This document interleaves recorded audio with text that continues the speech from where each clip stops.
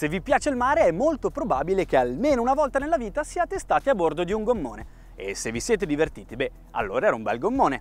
Questo è il Cayman Sport Touring 23 di Ranieri International e anche se oggi sarò io a navigarci, sono sicuro che vi divertirete anche voi. Perché? Beh, perché questo è The Boat Show.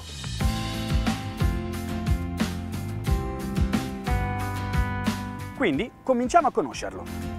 Lunghezza fuori tutto 7 metri e 10 cm, larghezza al baglio massimo con i tubolari gonfi 2 metri e 80.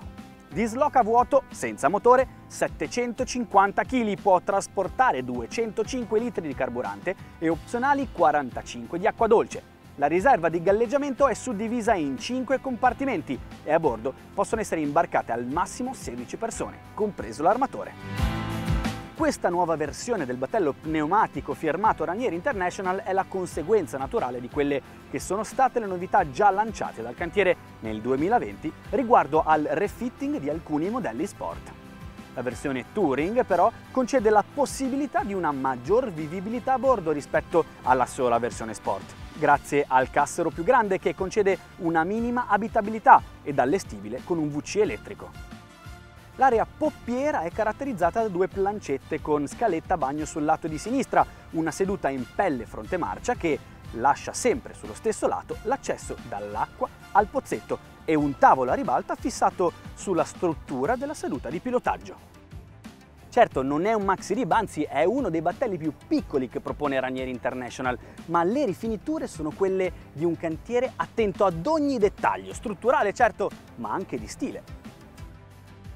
La seduta di timoneria è una delle innovazioni che si trova già nella nuova gamma Sport, comoda per la conduzione da seduti ed ergonomica appoggia reni se si preferisce pilotare da in piedi. Qui sotto due gavoni per lo storage, uno nel cassero e uno nel modulo della seduta di pilotaggio, che su richiesta può diventare anche l'alloggiamento del frigorifero a cassetto. Il prendisole nella zona prodiera nasconde un altro gavone in controstampata, altro spazio per lo storage e di fronte, prua via al cassero, una piccola seduta fronte marcia. Sul vertice prodiero il verricello elettrico e il vano di ispezione è comodo ed accessibile in ogni situazione. La chiglia e la coperta in vetro resina sono laminate a mano e fuse insieme tramite un sistema particolare di Ranieri International. Si chiama CSA, ovvero Cockpit Shock Absorber. Cosa significa? Significa che il materiale che incolla le due parti è un materiale elastico che assorbe le vibrazioni e non le trasmette quindi alla coperta. Questo cosa comporta? Comporta una navigabilità maggiore anche con mare formato. Il disegno di carena non presenta i classici redan che ormai sono presenti in quasi tutti i modelli di Ranieri, però ha un angolo veramente accentuato. Pensate che questa carena ha un dead rise di 21 gradi. Questo significa che è molto profonda e che è adatta a navigare su qualsiasi tipo di mare. Beh, non si può dire che oggi il mare sia mosso effettivamente, però è nervoso ed è una delle situazioni migliori per testare questo tipo di carene.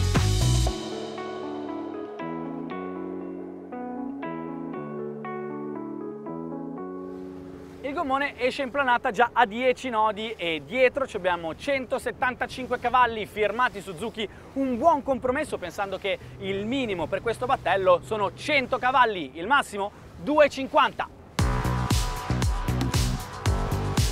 Una buona velocità di crociera intorno ai 20 nodi, 3500 giri minuto. Il gommone trova il suo assetto, tira giù la prua, forse un po' troppo, allora possiamo alzarla col trim, forse perché c'è Nick lì davanti. Però quello che succede è meraviglioso, ovvero la prua certo va in acqua, divide le acque e apre le onde. È quello che dovrebbe fare una buona carena perché sbattere sull'onda non è una cosa positiva, non ci dà il comfort alla guida. Mentre invece così la sensazione al timone è quella di una carena morbida che ci dà affidabilità anche con onda. 4000 giri minuto, siamo a 25 nodi. È il momento di vedere come si comporta in virata.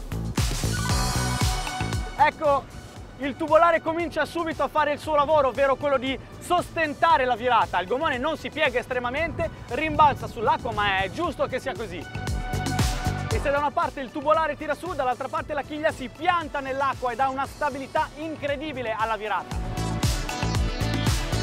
Adesso però è arrivato il momento che preferisco e normalmente per arrivare a toccare la velocità di punta di un battello cosa dovrei fare? Beh, mettermi col mare in poppa, dare tutto gas e giocare col trim. Eh, però vi ho detto che ha una carena super profonda che può navigare sul mare formato, non ha paura delle onde e poi vi ho anche detto del sistema di assorbimento degli urti e quindi, beh, quindi adesso questo gommone noi lo proveremo davvero nelle condizioni peggiori. Mare in prua e gas tutto aperto! Woo!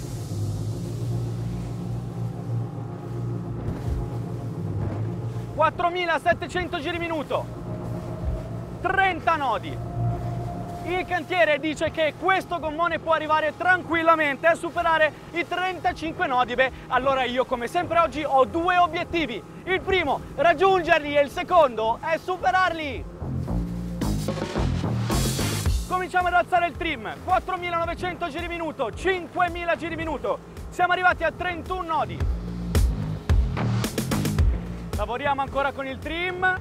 Il gommone diventa leggerissimo. Più tiro sul trim più lo scafo si alza i tubolari si staccano dall'acqua c'è meno attrito. Il gommone naturalmente certo balla di più ma vola. 5250 giri minuto. Stiamo facendo 35 nodi. Primo obiettivo raggiunto arriviamo al limite massimo del trim 5400 giri minuto abbiamo toccato i 36 nodi punto 1 Woohoo!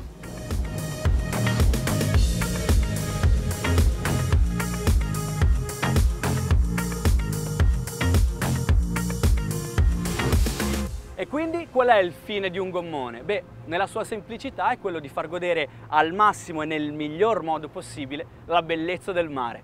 E a voi non vi è venuta voglia di provarlo?